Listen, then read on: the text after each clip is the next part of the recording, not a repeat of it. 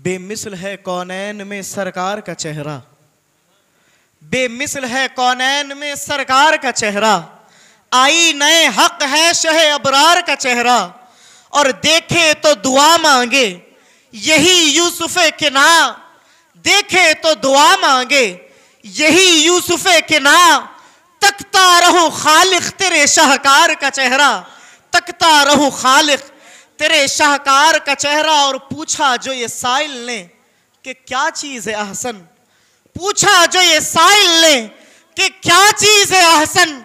सिद्दीक ने बरजस्ता कहा, बस यार का चेहरा। सिद्दीक ने बरजस्ता कहा, बस यार का चेहरा। एक बार सरकार ने सिद्दीक अकबर रज़ी अल्लाह से पूछा कि अबू बकर, तुम्हें दुनिया में तीन चीज़ें क्या पसंद है?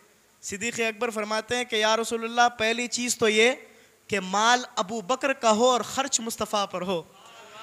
बेहिसाब माल खर्च किया। आका फरमाते हैं कि मैंने कायनात के सारे लोगों का देन दे दिया है।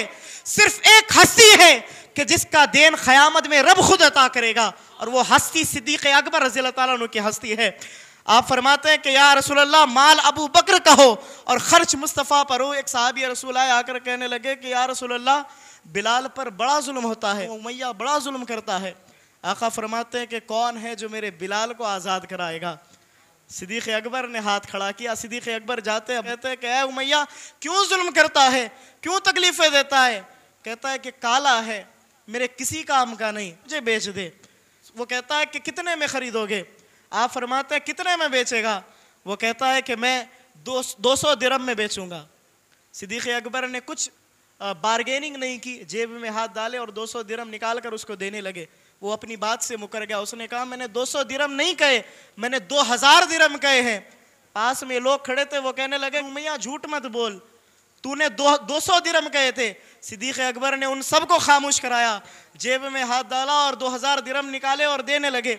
और बिलाल को आज़ाद करा कर जब ले जाते हैं तो पीछे से आवाज़ देता है कि अबू बकर, मैं तो तुम्हें बड़ा पक्का ताजिर समझता था। मैं तो तुम्हें बड़ा अच्छा ताजिर समझता था। लेकिन तुम नफे का सौदा कर रहे हो, नहीं, नुकसान का सौदा कर रहे हो।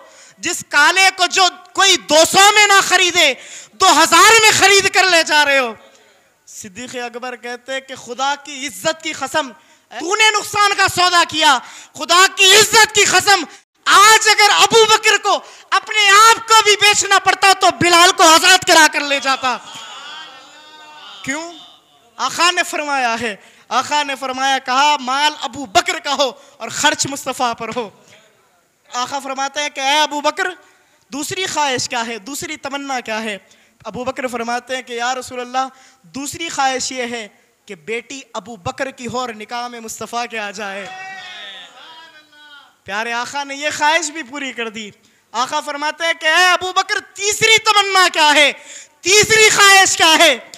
अबू बकर फरमाते हैं कि या रसूल अल्लाह तीसरी तमन्ना यह है, तीसरी ख्वाहिश यह है कि आँखें अबू बकर की हो और चेहरा मुस्तफ़ा का हो। आँखें अबू बकर की हो और चेहरा मोहम्मद मुस्तफ़ा का हो। आखा ने यह ख्वाहिश भी पूरी कर दी। गारे सौर में वो लम्हात भी अता किए, जब कायनात में कुछ नहीं था था तो बस क्या? आँखें अबू बकर की थी, चेहरा मुस्तफ़ा का था। पीर नसीरुद्दीन नसीर इसी पर लिखते हैं कि पूछा जो ये साइल ने कि क्या चीज़ है हसन? सिद्दीक ने बरजस्ता कहा बस यार का चेहरा। सिद्दीक ने बरजस्ता कहा बस यार का चेहरा।